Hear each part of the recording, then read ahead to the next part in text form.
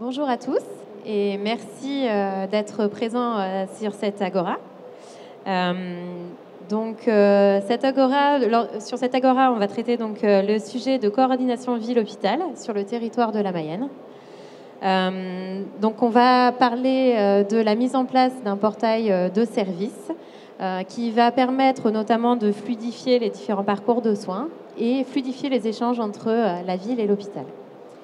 Donc, euh, je me présente pour ma part. Donc, je m'appelle euh, Florence Curo euh, et je suis donc experte sur les solutions de coordination de soins chez Intersystem. Donc, Intersystem, c'est un éditeur de logiciels en santé qui est présent dans le domaine de la santé depuis 45 ans. Et j'ai le plaisir et l'honneur d'animer cette, cette, table ronde avec un panel d'intervenants divers et variés. Vous allez le voir.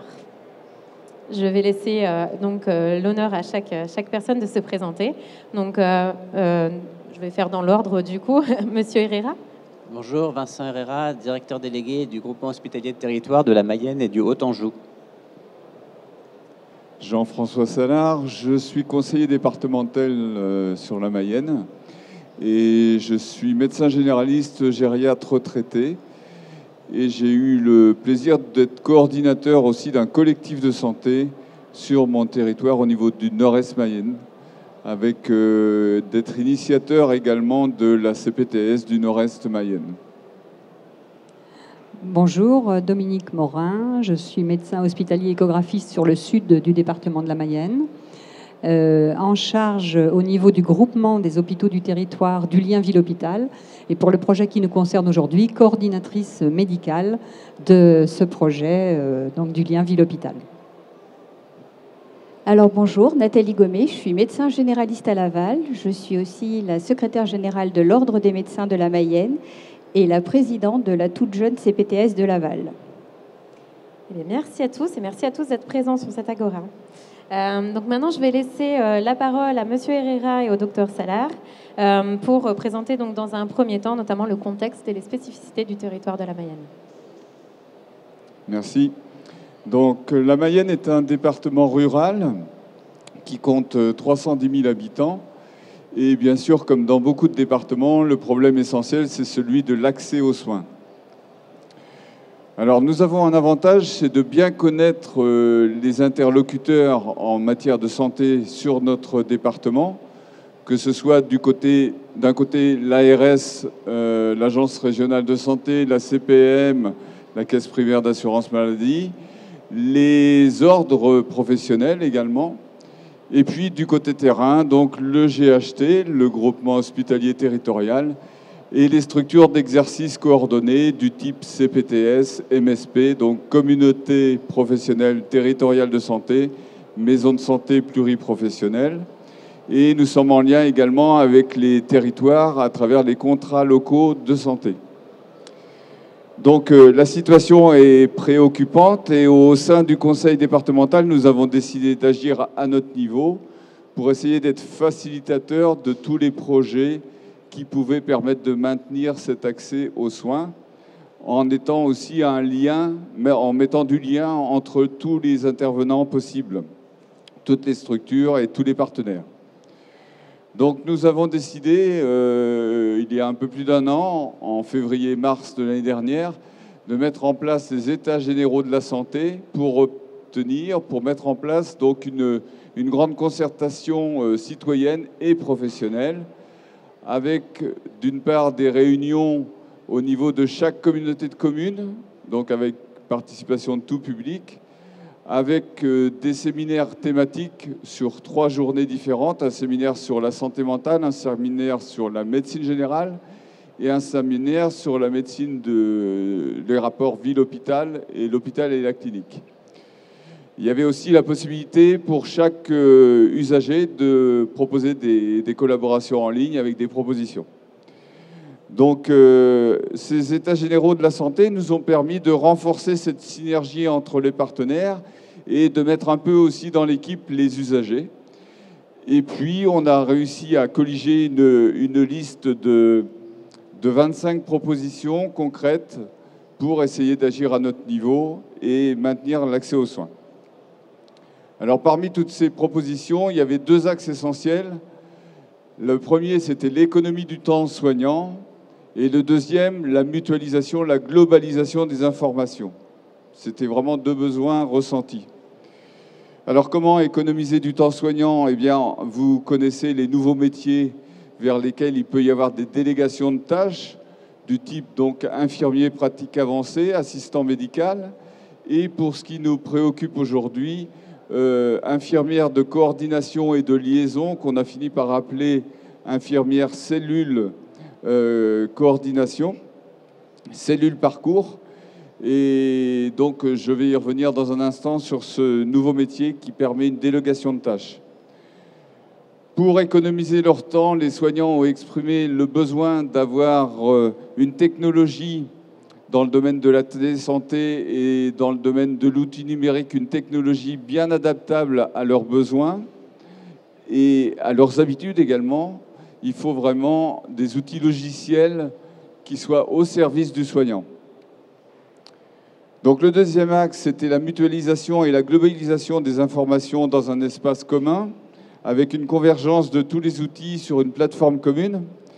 Euh, un besoin également exprimé à de nombreuses reprises, c'était celui d'avoir un annuaire euh, de l'accès aux soins qui sera utile pour tous, aussi bien les usagers que les professionnels, et particulièrement les professionnels qui viennent de s'installer sur notre territoire. On a estimé que c'était un facteur d'attractivité de pouvoir euh, disposer d'un tel outil.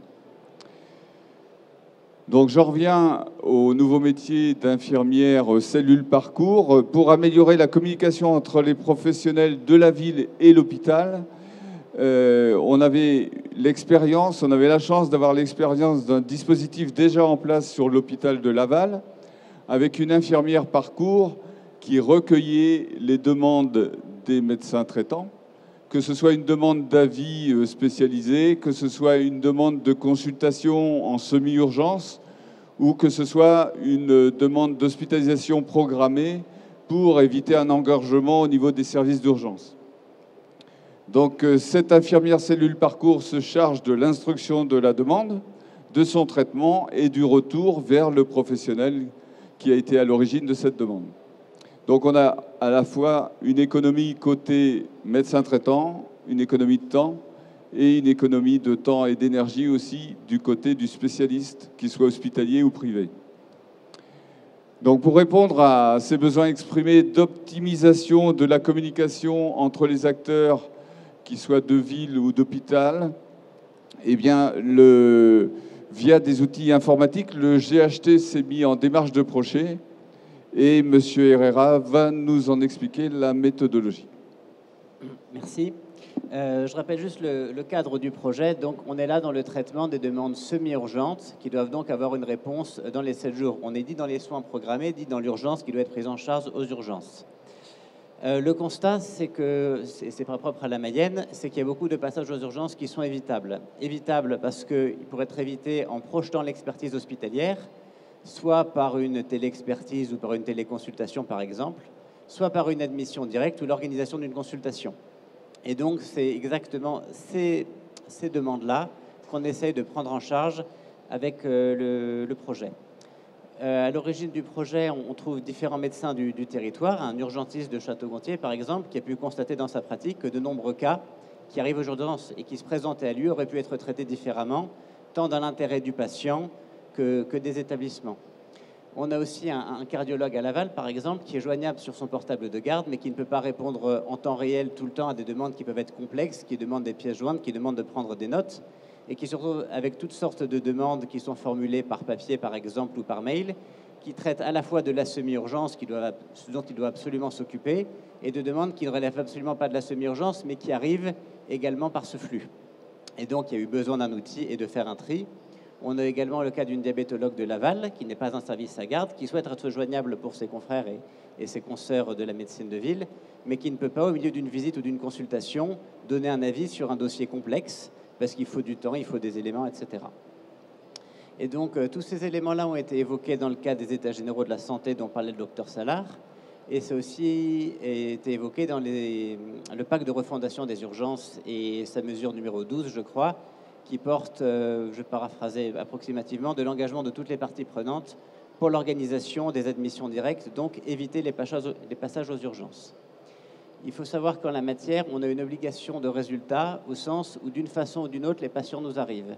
Si jamais collectivement, et je dis bien collectivement, parce que c'est un projet territorial ville-hôpital, ce n'est pas un projet hospitalier, on n'arrive pas à mettre à disposition des médecins de ville un outil simple, ergonomique et efficace qui puisse orienter les patients, ces patients arriveront d'une façon ou d'une autre aux urgences, et c'est dans l'intérêt de personne. Donc c'est pour ça qu'on a voulu mettre en place un dispositif spécifique qu'on va vous présenter. Le dispositif repose sur deux piliers. D'abord, une infrastructure humaine, entre guillemets. Alors, pour ceux qui voient la Mayenne, c'est un rectangle qui fait en gros 100 km du nord au sud et 80 km de l'est à l'ouest, qui présente l'avantage d'avoir un très bon maillage territorial, au sens où on a la chance d'avoir sept établissements, donc un tous les 25-30 km. Euh, chaque établissement dispose d'une cellule parcours, euh, parcours ordonnancement qui est animée par des infirmières. La taille de la cellule varie évidemment en fonction que ce soit l'hôpital de Laval, qui est un CHMCO de 2500 agents, et donc on a une cellule tous les jours de 9h à minuit, et les hôpitaux de proximité qui ont plutôt un dispositif euh, en semaine animé forcément par moins de monde. Et ces cellules-là sont coordonnées à la fois par le docteur Morin en tant que coordonnateur médical et par une cadre sup en tant que coordinatrice paramédicale. Le but étant d'homogénéiser les méthodes, d'homogénéiser les outils et s'assurer que ces cellules vont pouvoir travailler entre elles pour à la fois drainer les demandes de la médecine de ville et les traiter vers l'hôpital et aussi régler les sujets intra-hospitaliers, ou plutôt interhospitaliers, de l'hôpital d'Erdé vers l'hôpital de Laval, par exemple. Et donc, on n'est pas sur des secrétariats, on est sur des postes qualifiés, connus et reconnus au sein de leur territoire. C'est pour ça qu'on a voulu une cellule au sein de chaque établissement et pas quelque chose de central qui aurait eu beaucoup moins de sens. Euh, au niveau des outils, alors, je le répète, ce n'est pas un projet hospitalier, et c'est un projet qui est co-construit. Donc on était venu euh, bah, à Santexpo l'an dernier, on avait vu des, logiciels qui étaient très intéressants. Mais il y avait plusieurs difficultés. D'abord, la difficulté de trouver un logiciel qui était bon dans tous les domaines, à la fois dans l'accès aux données, quelque chose d'ergonomique pour faire des demandes, les liens avec les systèmes d'information, et on ne trouvait pas. Et ensuite, il y avait un sujet de légitimité. C'est un projet qui est hospitalier, donc ce n'est pas l'hôpital qui achète un logiciel tout fait et qui le met à disposition ou qui l'impose au territoire on a été dans la logique d'établir un constat partagé à la fois avec les élus et les professionnels de santé de ville et de l'hôpital. Et le travail qui a été fait avec Intersystem, c'est non pas voilà un logiciel, mais voilà nos besoins et voilà comment on va pouvoir construire collectivement quelque chose d'adapté. Et du coup, c'est ce que les docteurs Morin et Gommet vont vous présenter plus en détail. Alors, donc, je ne vais pas revenir donc, sur euh, ce qui a été dit. Hein. Donc, le, premier constat pour nous, alors moi, je vais parler pour la ville, hein, donc médecin généraliste de ville, euh, c'était la difficulté euh, d'hospitaliser des patients en semi-urgence, c'est-à-dire pas l'urgence vitale, mais l'urgence sur la semaine. Et pour ça, il fallait qu'on prenne notre téléphone, il fallait, enfin, on perdait un temps fou. Et donc, avec le Conseil de l'ordre et puis l'hôpital, puisque au Conseil de l'ordre, on a la cellule ville-hôpital, euh, on s'est mis en contact pour essayer de trouver une solution pour ne pas passer par les urgences pour hospitaliser les patients en semi-urgence. Alors, le constat été partagé du côté hospitalier, puisque nous avons la nécessité impérative maintenant de désengorger les urgences et de recentrer le travail de nos services d'urgence sur les urgences vraies. Donc de ces deux constats, on, a abouti à un objectif commun euh, dans l'intérêt des patients de fluidifier les parcours pour la semi-urgence. Et c'est de là que la réflexion a été initiée à l'échelle du territoire entre les sept hôpitaux du groupement hospitalier de territoire, comme l'a présenté M. Herrera, mais aussi avec le Conseil de l'ordre, et puis, euh, dans un premier temps, avec euh, la naissance d'un premier dispositif à petite échelle qu'on va détailler par la suite, et dans un deuxième temps avec l'alignement des planètes lorsqu'il y a eu les états généraux de la santé, mais aussi l'accompagnement financier de l'ARS. Oui, alors on a commencé par un peu un logiciel fait maison, on va dire, euh, où on pouvait euh, faire une demande semi-urgente avec certains services. On mettait des pièces jointes et euh, une, une infirmière coordinatrice de l'hôpital prenait notre demande et ensuite nous on devait, enfin, elle devait s'occuper des patients et on devait avoir une réponse. Alors peut-être repréciser, parce que ça nous a demandé euh, effectivement toute une phase de dialogue, euh, la semi-urgence, on l'a schématisé, c'est vraiment la nécessité d'une prise en soin de trois jours à trois semaines. À partir de là, euh, le médecin généraliste ou le professionnel de santé de ville, parce qu'il y a aussi beaucoup d'infirmières parcours qui font appel à nos, à nos infirmières des cellules parcours ordonnancement, vont adresser leurs demandes.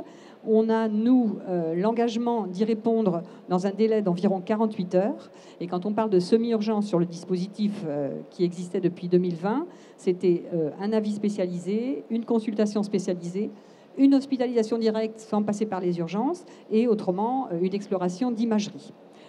C'était aussi simplifié pour les professionnels de ville l'accès aux soins par une entrée unique par centre hospitalier. Comme l'a dit M. Herrera tout à l'heure, on a raisonné en offre de soins de proximité. Après, les infirmières des différentes cellules sur les sept hôpitaux euh, sont en lien avec une coordinatrice paramédicale et des rencontres régulières pour euh, se connaître et puis euh, transférer éventuellement une demande d'un établissement à l'autre en fonction de l'offre de soins offerte par chacun des établissements. Voilà, sauf que notre petit système euh, avait ses limites et que euh, les patients étaient pris en charge, mais nous, les médecins généralistes, on n'avait pas le retour. C'est-à-dire qu'on ne savait pas s'ils avaient été hospitalisés, on ne savait pas s'ils avaient eu la consultation, on n'avait pas les informations. Et c'est ce qui nous manquait. Et donc, on s'est réunis ensemble pour trouver une solution pour euh, justement avoir des notifications qui nous informent sur la prise en charge du patient. Alors, il faut dire que l'an dernier, il y a une enquête euh, d'évaluation qui a été faite sur le, système précédent, qui a montré effectivement beaucoup de, pistes d'amélioration, même si le système répondait de par euh, sa simplicité à un certain besoin, mais de façon encore modeste. Et à travers cette enquête d'évaluation, on a vu aussi émerger des nouvelles demandes et des nouveaux besoins auxquels les nouvelles technologies pouvaient répondre de façon sécurisée. Alors là, euh, en plus de la réponse aux demandes semi-urgentes qu'on a développées euh, jusqu'ici. D'autres fonctionnalités vont pouvoir être, euh, qu'on va vous présenter, donc euh, mises en place à partir du nouvel outil et aussi dans une optique que l'on continue sur le dialogue et la co-construction entre la ville et l'hôpital. Ce qui était aussi important pour nous, les médecins de ville, c'est qu'il ne fallait pas que ce soit chronophage. C'est-à-dire qu'il fallait un système simple pour nous connecter à, l'hôpital. Et euh, donc, on a demandé à ce qu'on soit connecté par notre carte CPS, comme on, fait pour euh, nos logiciels de santé. Et ce qui va être acté, donc euh, on aura juste à aller sur le site et se connecter directement avec notre carte CPS. Et alors aussi, ce qui était aussi important, c'était ces, notifications, et dont une, pour nous, médecins généralistes, je dirais presque la plus importante, c'est quand un patient décède, on était rarement informé. Ça nous met dans des situations euh, assez délicates avec les familles. Et là, nous avons demandé à ce qu'il y ait systématiquement une notification donc, qui nous arrive pour nous donner l'information que le patient, ben, malheureusement, est décédé. Donc, à partir de ces exemples concrets, euh, vous avez euh, un petit peu le type de nouvelles fonctionnalités qui va pouvoir être développé à travers le, portail numérique euh, donc ville-hôpital, dont le nom est MAY comme Mayenne, ville-hôpital. Alors, au-delà des demandes semi-urgentes, il y a effectivement la possibilité d'améliorer, et là on rejoint les préconisations des États généraux de la santé, le système de communication et d'information entre la ville et l'hôpital. Un des premiers moyens, ce serait la notification systématique au médecin traitant. Votre patient a été euh, admis aux urgences, votre patient est hospitalisé, votre patient est sorti ou malheureusement votre patient est décédé. Euh, toujours dans ce volet communication-information, euh, les médecins traitants pourront avoir, alors bien sûr, médecins traitants désignés comme tels par le patient, pourront avoir accès à des éléments clés du dossier patient informatisé du groupement hospitalier. Alors les éléments clés qu'on a définis ensemble lors des ateliers fonctionnels euh, auxquels on a participé, un compte-rendu d'hospitalisation, un compte-rendu opératoire, un compte-rendu d'imagerie, voire les derniers examens, les derniers résultats de biologie. Euh, on a parlé aussi tout à l'heure de l'annuaire hospitalier pour avoir une visibilité euh, beaucoup plus claire pour les professionnels de ville, mais aussi d'un hôpital à l'autre, euh, de l'offre de soins dans chacun des établissements. Dans la réciprocité qui a été aussi évoqué lors des ateliers fonctionnels, c'est l'accès. Voilà, alors moi j'insistais beaucoup sur l'espace santé, excusez-moi, l'aspect espace santé, parce que là on parle de la ville qui donne des, de l'hôpital qui donne des informations à la ville, et moi je trouve que c'est aussi important que la ville donne les informations à l'hôpital. C'est-à-dire que euh, ce qu'on appelle nous notre volet médical, les antécédents du patient, le traitement qu'il prend, ses allergies, euh, sont dans l'espace santé. Et je trouve qu'il est important que l'hôpital ait accès à ça. Quand vous avez un patient qui arrive aux urgences, qui n'est pas passé par son médecin traitant et qui n'a pas de courrier, eh bien que le médecin urgentiste ait accès à ses antécédents, ses allergies et son traitement chronique, euh, ça me paraît un échange très important et un échange à travers lequel on voit l'intérêt du patient. Hein, parce que c'est évident qu'à partir du moment où l'information passe, la prise en charge sera beaucoup plus adaptée euh, aux, besoins, du patient. Euh, sur les dernières fonctionnalités, on a parlé tout à l'heure de la téléexpertise et des avis spécialisés, et puis aussi un espace de discussion. Tout ça seront des, briques et différents modules qui seront possibles à partir euh, du, portail et de la connexion donc à, ce, portail. Alors, dans le volet donc de, co-construction, on a parlé déjà des ateliers communs qu'on a eus entre le GHT, les infirmières des cellules parcours ordonnancement, qui sont vraiment, qui restent le cœur du système, c'est-à-dire que c'est un portail numérique, c'est de l'informatique, mais il y a aussi tout ce facteur humain qui nous paraît très important en tant que soignant. Et puis euh, là, on va passer à la phase de bientôt de prototype. Je pense dès le mois prochain, euh, Madame Curo va sans doute vous en parler mieux que moi. Euh, pour euh, retourner vers nos généralistes tests. On a déjà travaillé avec un groupe d'une quinzaine de bêta-testeurs, les faire expérimenter l'outil.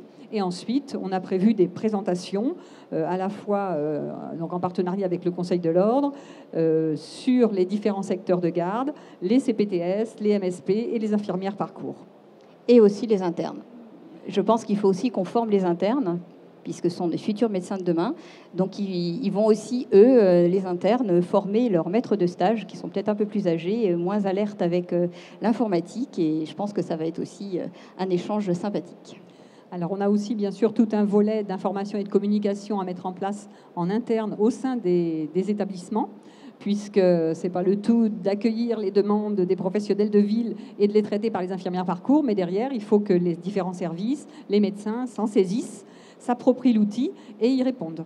Et donc là, il y a tout un volet aussi euh, communication interne, information et puis euh, structuration de notre demande, d'où l'intérêt, même si on reste dans un fonctionnement euh, propre à chaque centre hospitalier, d'avoir une coordination et une harmonisation entre les différents établissements pour qu'un professionnel de ville, parce qu'il y a certains qui sont situés en plus géographiquement un peu sur la limite entre deux établissements, mais euh, puisse avoir l'offre de soins la plus adéquate, puisque dans le terme, il y a parcours patient, mais le terme ordonnancement, c'est vraiment le bon patient dans le bon lit, donc qu'il soit vraiment euh, admis et soigné dans, la meilleure euh, configuration possible de l'offre de soins mayonnaise.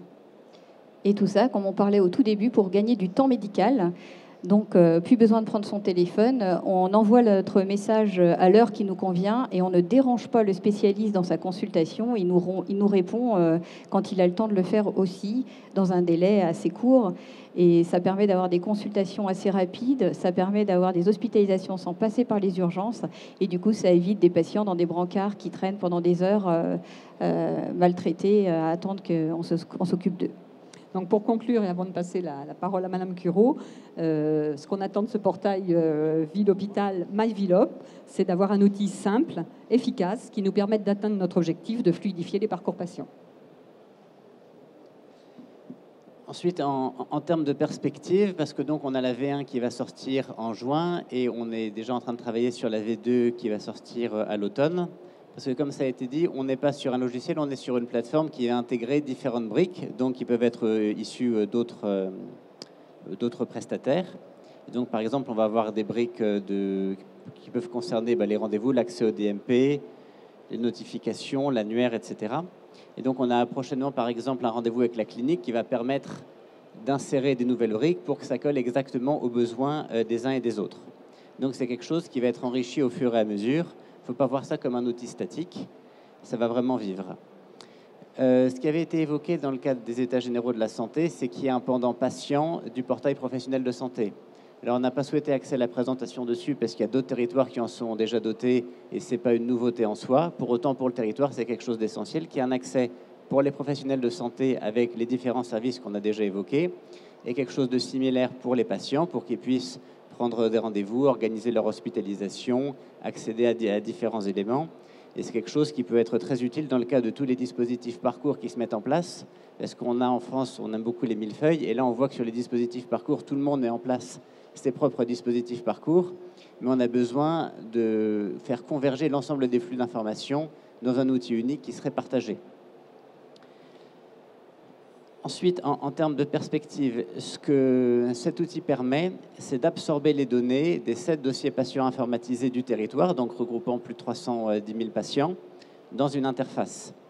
Euh, ces données-là, si, euh, sous réserve d'éléments techniques que je ne peux pas détailler ici, si on absorbe toutes les données sur une période beaucoup plus longue de tous les patients, ça peut être très intéressant dans le cadre du territoire pour faire de la recherche clinique, de la prévention, de l'épidémiologie, et donc l'intérêt que ça, c'est aussi l'avantage d'être un petit territoire, c'est d'avoir une base de données unique avec l'intégralité des dossiers patients, avec une grande partie des données qui sont déjà structurées dans le cadre des DPI, même si elles ne le sont pas à 100%, pour pouvoir commencer à faire des requêtes, que ce soit à la demande de la CEPAM ou de l'ARS, ou dans le cadre d'une épidémiologie.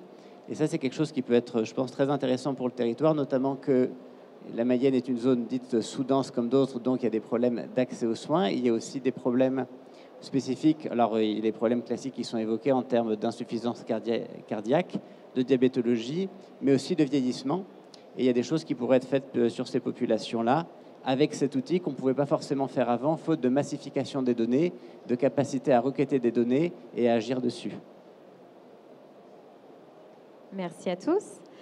Euh, donc, en fait, en résumé, euh, euh, la, philosophie que l'on a derrière, ce portail, c'est vraiment de fournir une porte d'entrée unique qui vous permet d'accéder à différents services. Ce sont des services qui sont modulaires, donc vous pouvez décider d'en ajouter, un à un instant T et de le modifier le lendemain, par exemple. notre but, c'est vraiment de faciliter l'accès à, cette plateforme. Euh, et comment on le fait? Ben, Le docteur Gomé l'a mentionné par la carte notamment ICPS. C'est euh, quelque part juste un outil web supplémentaire, mais euh, pas besoin de nouveaux logins, mots de passe, etc. pour y accéder. D'un point de vue hospitalier, cette fois-ci, euh, la plateforme s'intègre complètement dans, euh, euh, le workflow vraiment natif des, professionnels, donc dans leur DPI, hein, sera appelé depuis leur DPI, pour vraiment faciliter l'accès à ce type de plateforme qui n'est pas donc un, outil, je dirais, encore supplémentaire où il faut encore se souvenir de son utilisateur et mot de passe.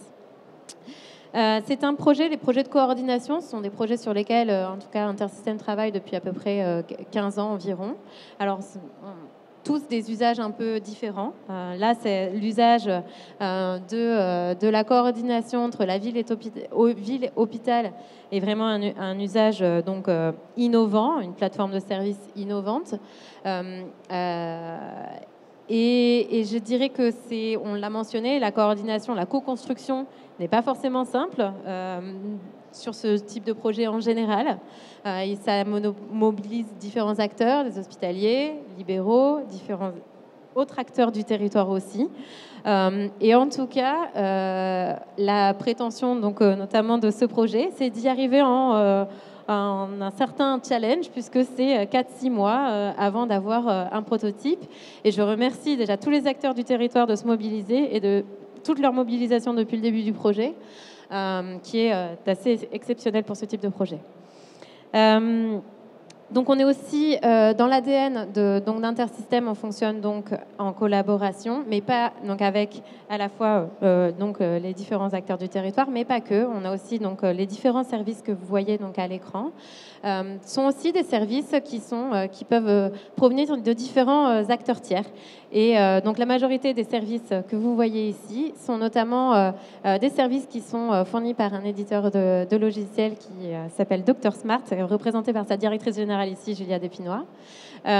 qui, qui donc sont des, des différents services qui sont intégrés aussi à la plateforme. Voilà. Donc ce sont, euh, euh, c'est aussi, ça fait partie, Intersystem aussi est, un, euh, est une, est une entreprise qui force, qui aime les partenariats et qui fonctionne comme ça. Eh ben, je vais maintenant conclure et ouvrir sur donc les questions. Et merci encore à tous les intervenants, à vous tous, de nous faire confiance et de ce beau projet que l'on va faire ensemble. Y a-t-il des questions dans l'assistance?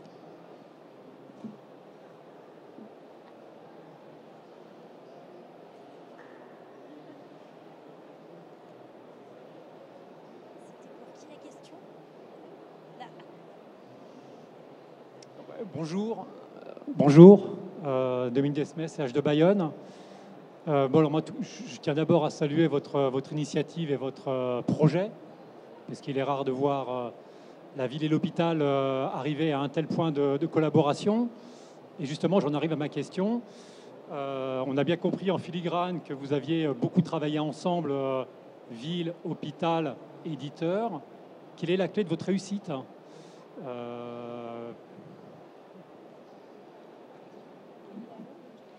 Alors moi, je dirais une bonne entente, parce que euh, la crise Covid nous a aidés aussi euh, à travailler ensemble. Euh, on a appris à se connaître et on a appris à améliorer nos façons de travailler les uns avec les autres et on a eu envie d'améliorer encore, encore les choses. Juste peut-être rajouter qu'on est un territoire rural, éminemment rural, et que cette dimension, peut-être aussi la faiblesse de, nos ressources humaines, fait notre force. Enfin, en tout cas, c'est ce on, a, on a décidé de, le voir comme ça. Euh, ça permet quand même de se connaître les uns les autres euh, beaucoup plus facilement que sur des départements où il y aurait des grosses métropoles. Euh, Monsieur Herrera l'a évoqué tout à l'heure. on a aussi envie de développer la collaboration, non seulement ville-hôpital, mais public-privé. Et on a euh, une euh, clinique sur tout le département, euh, chirurgie, médecine, et aussi une clinique psychiatrique. Donc c'est vrai que ça favorise aussi les, petites dimensions, favorise cette communication, le fait d'arriver à se connaître, de se parler plus facilement.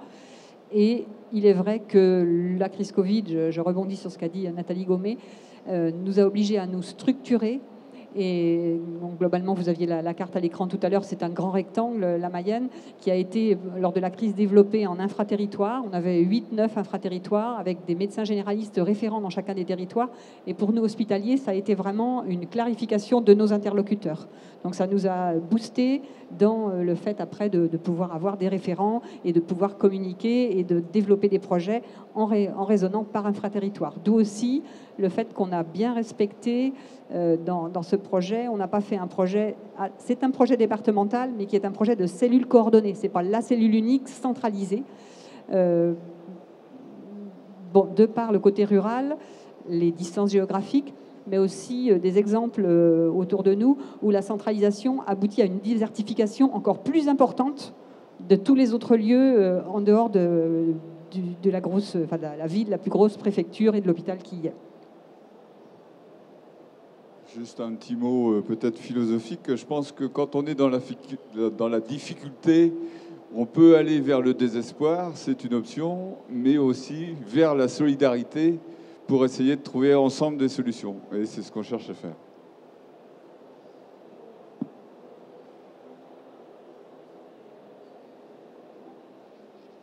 D'autres questions?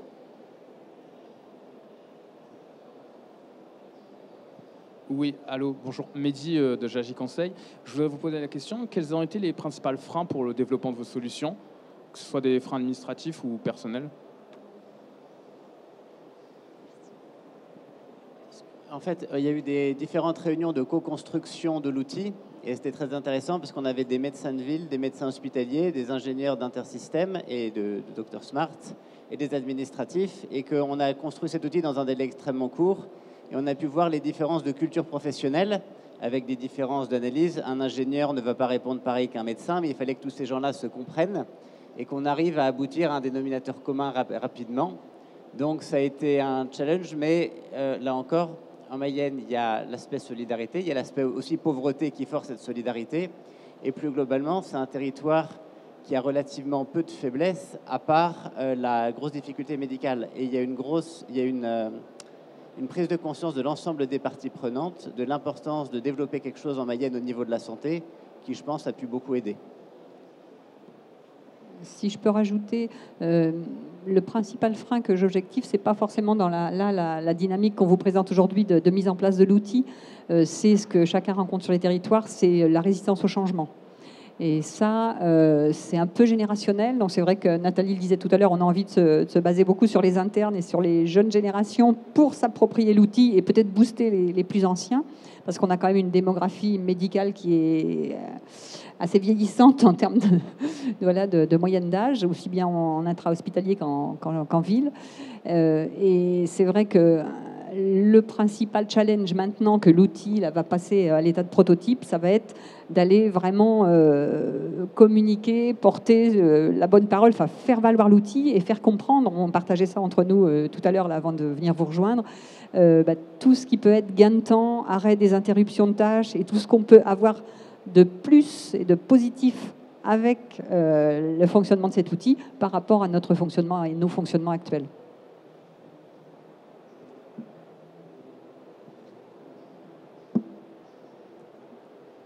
D'autres questions? On a encore un peu le temps.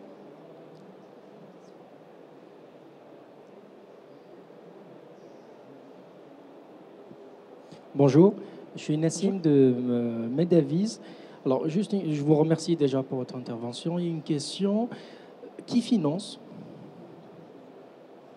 C'est un point très important, effectivement. C'est un dossier qui est intégralement financé par euh, l'ARS et c'est l'ARS, c'est vrai dans tous les territoires hein, et dans toutes les régions, qui dans les suites du pacte de refondation des urgences a mis des sommes très importantes d'abord pour prolonger les dispositifs qui avaient été mis en place en Mayenne en tout cas, mais pas seulement, dans le cadre de la crise Covid, qui était un catalyseur sur le fait de maintenir les équipes euh, territoriales, que les équipes, euh, les équipes mobiles paramédicales pardon, qui avaient été mises en place pendant la crise Covid pour qu'elles soient maintenues vis-à-vis -vis des EHPAD et qu'elles puissent continuer leur travail. Et ensuite, dans le cadre de ces équipes-là, on s'est aperçu rapidement qu'il manquait une infrastructure, quand même plusieurs infrastructures. Il y a d'abord une infrastructure au niveau du partage des lits, même si c'est moins pertinent pour un territoire comme la Yenne qui est relativement petit, où sur les informations de disponibilité des lits sont facilement accessibles, mais ce n'est pas vrai pour des territoires qui sont plus gros. Et ensuite, sur la nécessité de pouvoir avoir un outil unique pour partager l'ensemble des éléments. Sinon, on est à la fois sur un millefeuille organisationnel, un millefeuille de système d'information, et on le répétera jamais assez, les médecins ont relativement peu de temps. Donc si c'est compliqué pour un médecin de ville, si c'est compliqué pour un médecin hospitalier, si chacun doit se loguer sur trois logiciels différents, ça ne marchera pas. Et donc du coup, c'est ce qui a euh, motivé à la fois le projet et le financement de l'ARS. Et la contrepartie, c'est qu'on ait quelque chose qui soit opérationnel très rapidement. On ne vise pas à avoir le logiciel parfait dans trois ans. Les problématiques de la Mayenne, c'est maintenant, c'est pas dans trois ans. Et il faut qu'on ait déjà quelque chose. Idéalement, c'est avoir le prototype avant l'été pour qu'il puisse être testé pendant l'été et généralisé à l'automne. Je, veux bien dire concrètement, en fait, pour répondre à votre question, effectivement, c'est l'ARS qui finance. La démarche au niveau euh, médico-soignant, ça a été d'avoir les idées de, comme on l'a un petit peu essayé de l'expliquer tout à l'heure, mener la réflexion et après construire, bâtir le projet. Et c'est à partir de la construction du projet. On a répondu à plusieurs appels à projets. Un premier, on a été retenu un deuxième, et c'est monté en puissance jusqu'à là ce portail numérique qui est l'aboutissement de toute une démarche qui remonte à 2019, euh, puisque tu avais commencé aussi. 2018. 2018, oui.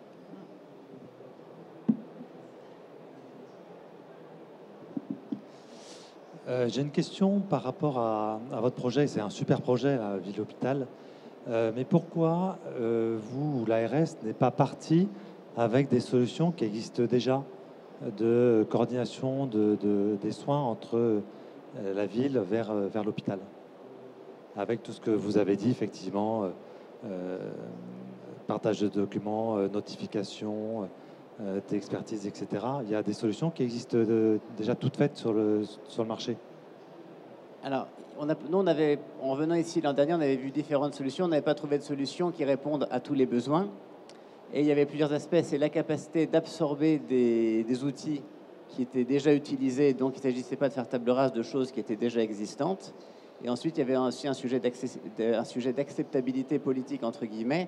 C'est que le fait que l'ARS paye et que l'hôpital choisisse un logiciel qui serait imposé à tout le monde, ce n'est pas quelque chose qui aurait marché. Il y avait forcément besoin de cette phase de co-construction et d'ailleurs, entre le, cahier des charges qu'on avait imaginé et les ateliers, il y a beaucoup d'éléments qui sont venus se rajouter auxquels on n'avait pas du tout pensé, parce que c'est dans le dialogue que ces choses-là ont pu être mises en place. Il y a des solutions, par exemple, au sein du territoire qui existent, comme Covalia, qui sont des solutions qui sont intéressantes, menées par le GCS euh, e-santé de la région Pays de la Loire. Mais là, on voit que c'est une solution qui, si elle est intéressante, n'est pas interconnectée avec les DPI, qui suppose une ressaisie à chaque fois. Et donc, du coup, c'est quelque chose qui est éliminatoire dès le début. Si on dit aux gens, vous avez plusieurs connexions différentes, vous avez une ressaisie, on ne peut pas dire au médecin de saisir dans son dossier à lui, dans le dossier Covalia et dans le DPI. Mais la question s'est posée, et une autre question a même été posée plus loin, c'est vu que l'espace numérique en santé va faire de plus en plus de choses, est-ce que dans 3, 5 ou 10 ans, ce n'est pas quelque chose qui serait obsolète? C'est aussi une question légitime, mais pour nous, le problème, c'est aujourd'hui, ce n'est pas dans 3, 5 ou 10 ans. Mais on s'est posé la question.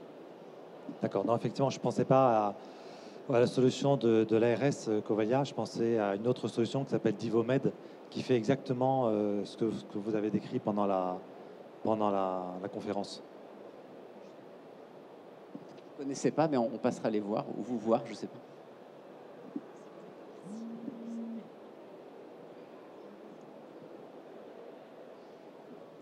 Il je peux peut-être dire que plus que du prêt-à-porter, on avait envie de sur-mesure aussi. Parce que c'est vrai qu'on est quand même un territoire, euh, comme je disais, qui a une, euh, dans sa ruralité, quand même assez particulier. Et euh, avec sur les, sept hôpitaux, donc l'hôpital principal MCO, deux autres MCO, donc ça fait trois MCO plus la clinique sur le territoire, et quatre hôpitaux locaux. Et donc c'est vrai que c'est quand même l'idée, c'était que ce soit très adapté à cette euh, configuration et géographique et de l'offre de soins, de la ruralité, d'une population qui est assez, euh, qui est vieillissante aussi et euh, dispersée sur le territoire. Et c'est vrai que, je, bon, après, on, ira voir effectivement, mais ce qui nous a aussi séduit dans les propositions que faisait Intersystems et Dr Smart, c'était la capacité de s'adapter à notre demande, à nos besoins et de nous faire un outil sur mesure. Il reste deux minutes, je crois. Donc, s'il y a une dernière question, euh, on la prendra. Et sinon, on reste euh, quelques minutes à côté si vous souhaitez échanger avec, euh, avec nous après l'Agora. Eh ben, merci à tous et puis on vous souhaite un bon salon alors.